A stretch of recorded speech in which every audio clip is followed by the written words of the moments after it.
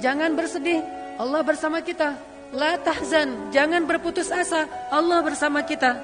Ketika kita percaya kepada Allah dengan yakin yang mantap, saat itu juga Allah yang akan menggenggam hati kita. Kemudian Allah akan memasukkan rasa bahagia, sa'idun di dalam hati kita.